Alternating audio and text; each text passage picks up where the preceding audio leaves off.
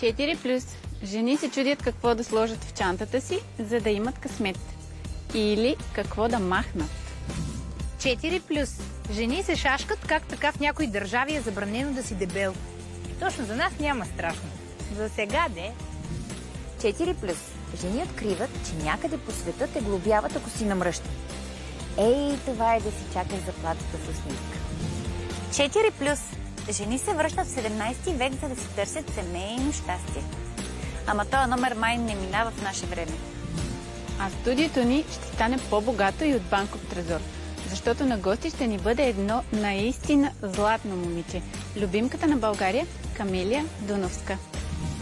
Гледайте 4 плюс в събота от 10 сутринта и в неделя от 3 след обед. 4 плюс в събота от 10 сутринта и повторение в неделя от 3 след обед.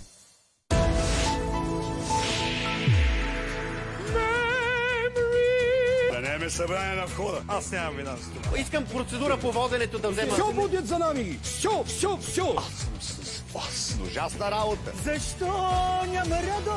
Давай, давай, давай! Този малък мъстик. Ще те папкам. Кой беше ти направил? Кой ще ни даде пари? Виждам, че не се досещате. Вечерното шоу на Слави Трифонов. Тази вечер от 22 часа. Само по 7 8 ТВ. Не заспивай, когато се раждат шеги. Продай, Не знаем дали сте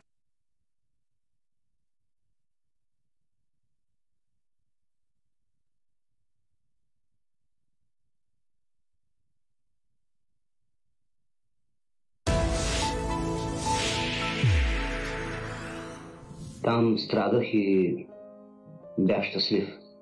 Творчеството на един голям творец ражда друго творчество. Иван Карайотов ти стана до паметника на Христопоти. Свърни се самената шапка и стоя една минута. И си тръгна. Аз не почнах да му се обадя. Вечерта на Иван Кулеков. Вторник, 21 часа.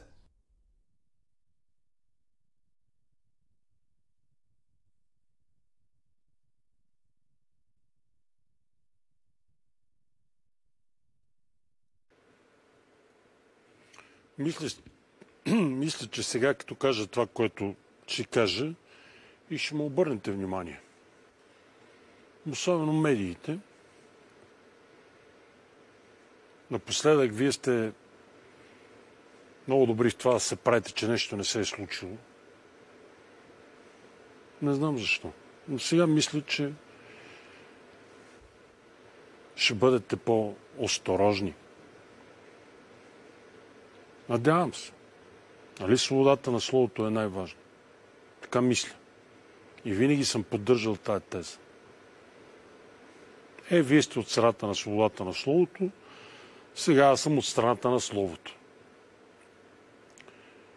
Днес Христо Иванов и парламентарната му група от Демократична България за първи път говориха това, което наистина мислят.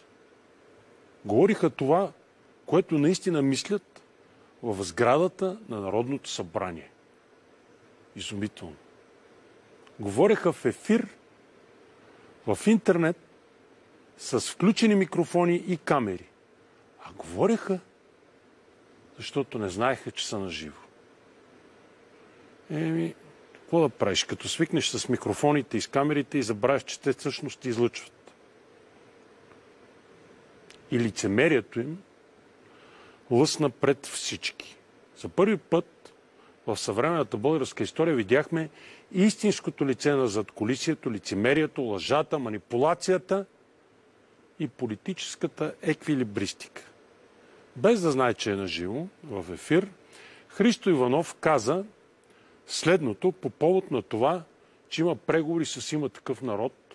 Цитирам. Сега цитирам това, което каза Христо Иванов. Той каза така.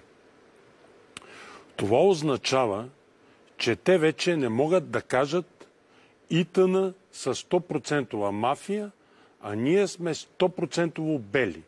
Тоест, нещата започнаха да се размиват. Край на цитата.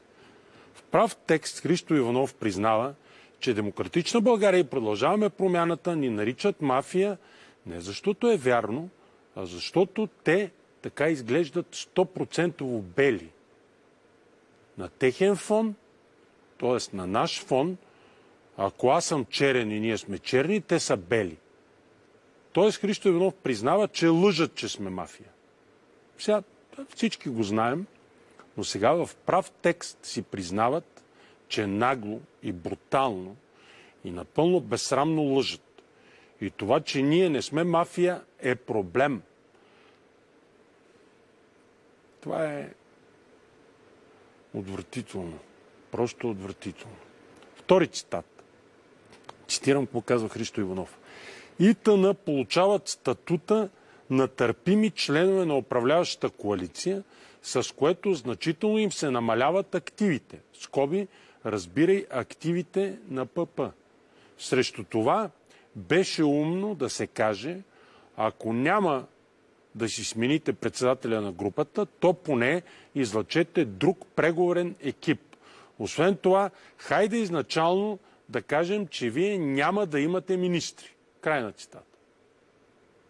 И така, Христо Иванов и продължаваме промяната страдат, че ние сме приемлива част от управляващата коалиция и имат наглостта да искат друг да е председател на нашата парламентарна група и поставят условия, има такъв народ, да нямат министри. Че защо изобщо има преговори тогава? Защо още има преговори? За какво симулират разговори? А, да. За да сме мафия и съответно ние да сме виновни за всичко. И сега е ужасен проблем, че ние не сме мафия, а те са как беше? А, да, 100% бели. Отвратително. Трето. Лъжат, че не обсъждат персонален състав на кабинет. Значи всички медии чакате да ви се каже, включително и ние чакаме предложение, има си мандатоносител, да кажат какво предлагат. Кой предлагат за министър-председател? Как ще изглежда тяхното предложение за правителство? Сега ще ви цитирам проблема, който имат. Цитирам това, което казва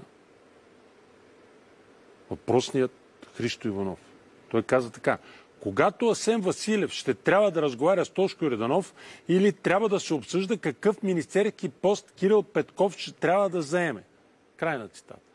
Значи така. Какъв министерски пост Кирил Петков трябва да заеме? Ми никакъв бе Христо. Никакъв министерски пост не трябва да заема Кирил Петков. Нали, за вас от Демократична България и продължаваме промяната, най-важна беше България. Нали, най-важен или най-важни са политиките. Нали, най-важна беше управленската програма. Ето и, уважаеми зрители, лицемерието в чиз вид. Четвърти цитат, който разкрива напълно формалното и лъжливо участие в тези преговори, както на Демократична България, така и на Продължаваме промяната. Цитирам. Ние си настояваме, че първо ние участваме в разговорите чисто в информационна цел.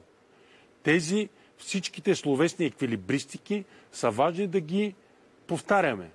Тези неща са важни да се кажат, че мандата не е на определена политическа сила, третия мандат е технически, че това не е на политическа формация, която има собствено право да състави политическо управление и така нататък. Край на цитата. Значи така, словесно еквилибриране, демек, лъжем красиво. И мандатоносителите от БСП няма ли абсолютно никакво собствено право да се опитват да правят кабинет, било технически проблем.